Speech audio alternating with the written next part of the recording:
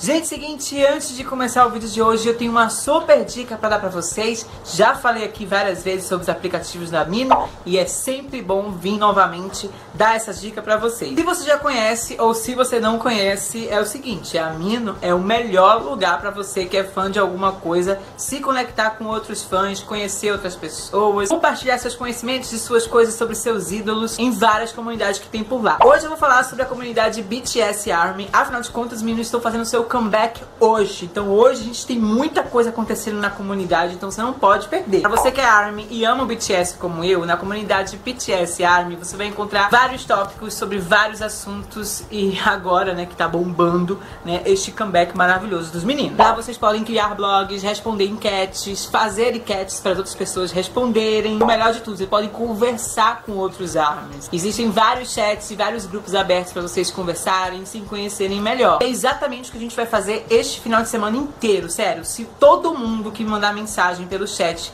lá no BTS Army, eu vou responder todo mundo. A gente vai conversar sobre esse comeback dos meninos, as músicas favoritas, o clipe, tudo, tudo, tudo a gente vai conversar este final de semana. E ó, fica tranquilo que os aplicativos da Mino se encontram tanto no Android quanto pro iOS de graça. Eu vou deixar o link aí na descrição pra vocês baixarem. E sério, vamos conversar comigo lá na comunidade BTS Army esse final de semana. Agora vamos pro vídeo.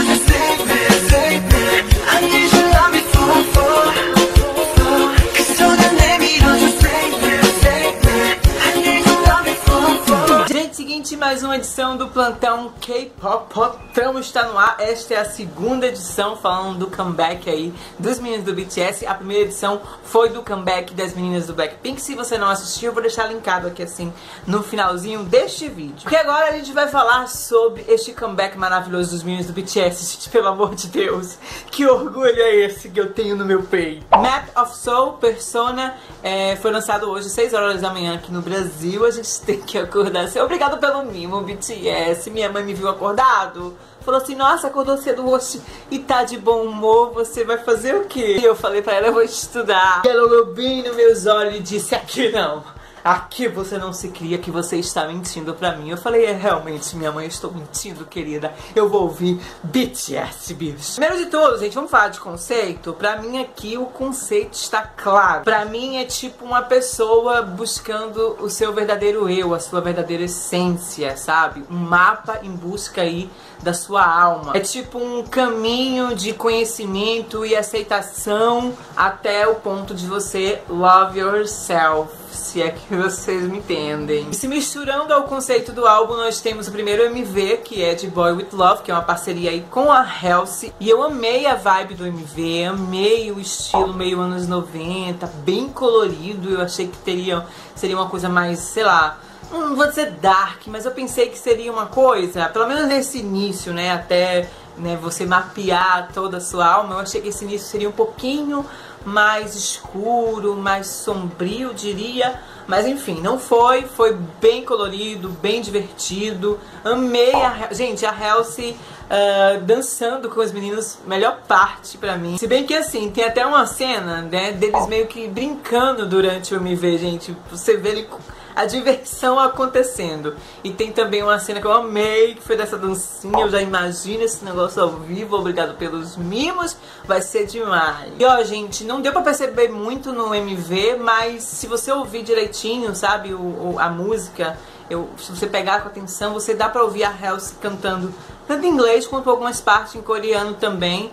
Mostra que ela se esforçou mesmo. Então, assim, parabéns, Helsa. Foi muito legal. Amei, assim, a sintonia entre é, ela e os meninos. E em termos de performance vocais dele também tá maravilhoso. Os raps estão maravilhosos. Então, assim, ó, só talento, né? O conceito é lá em cima. Para já sobre o álbum, gente, quando eu ouvi pela primeira vez, eu fiquei, ai meu Deus, essa é a minha favorita, né? De cara, é Boy With Love foi minha favorita. Aí depois eu ouvi, ai é minha favorita. Aí eu ouvi a outra, ai é minha favorita. E aí me explodiu minha cabeça. Sabe onde foi que eu parei? Verdade seja dita. Porque se eu perguntar a vocês qual é a melhor música do álbum e por que Jamais Vu. Gente, eu vou falar Jamais Vu porque é assim que escreve, tá? Eu não sei pronunciar as coisas, mas deve ser. Que tá lá, Jamais Vu. Gente, eu parei nessa música, eu tô ela no repete, né? Eu parei só pra poder gravar esse vídeo, porque eu amei. Gente, meu Deus do céu. A gente começa, né, a ouvir o álbum super alegre, divertido, dançando. Já quase no finalzinho as lágrimas caem, a gente fica questionando o que, está, o que eu estou fazendo nesta vida.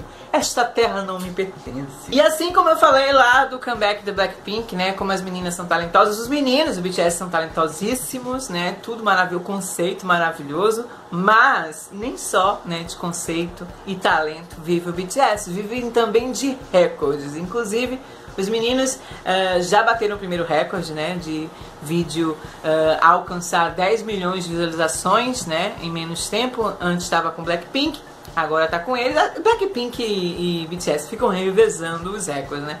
A verdade seja dita, os reis e as rainhas. A meta pra gente é conseguir 100 milhões de visualizações em 24 horas, né, pro BTS aí ficar lá no topo de vez. E eu não duvido, uma coisa que eu aprendi na minha vida, gente, é não duvidar do BTS e não duvidar das armas, né? Engana-se você aí se está duvidando. Eu acho que é bem possível, entendeu? Já deixei até no repeat. Gente, pelo amor de Deus, vocês fazem o seguinte, hein? Você assiste o clipe direitinho na sua conta do YouTube. Depois você sai da sua conta e bota o MV pra tocar. Tá? Uma coisa muito legal também que você pode fazer é pegar os aparelhos, sabe? Na sua casa tem quantas pessoas? Cada pessoa tem um celular.